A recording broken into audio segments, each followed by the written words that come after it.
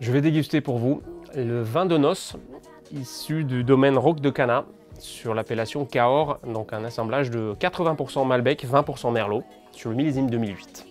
En apparence, j'ai une jolie robe rubis assez foncée, typique du cépage Malbec surtout. Au nez, j'ai des arômes de cerise noire, de cassis, de mûre, une touche de poivre également. La bouche est riche et fruitée. Euh, des beaux tanins fondus.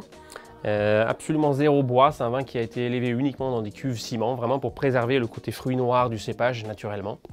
Je suis encore sur les arômes de mûre, de cassis, avec ce touche de poivre que moi j'aime beaucoup. Euh, c'est un vin que moi je conseille personnellement sur les confits de canard.